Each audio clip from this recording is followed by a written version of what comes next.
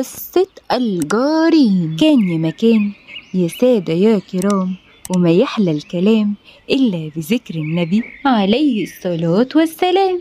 كان فيه راجل حكيم اشترى بيت ببستان ضخم وجميل وكان جنبه جار حسود. كان ساكن في بيت قديم وكان غيران جدا من حكيم وكان دايما بيحاول إن يأذيه ويعمل أفعال سيئة جدا. وفي يوم من الأيام كان صاحي الحكيم وهو في مزاج جيد جدا وبص من بلكونته لقى دلو مليان قمامة. نضف الحكيم البلكونة وأخد الدلو في إيده وراح لصاحبنا الحكيم وقعد يخبط على الباب. والحسود افتكر إنه جاي عشان يتخانق معاه. على أساس إنه هيردله دلو القمامة ويقوله ده الدلو ده مش بتاعي.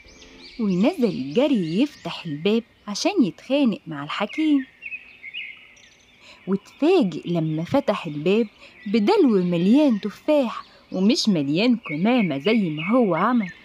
ورد صاحبنا الحكيم وقال له من عنده فضل من شيء شاركه مع الآخرين. اتكسف الرجل الحسود من نفسه جدا وخجل من مقولة الرجل الحكيم لأنها بتدل على إن إلقاء القمامة على بيت الآخرين تدل على فيضها عنده وإن ليس ما يقدم القمامة مثل ما يقدم التفاح.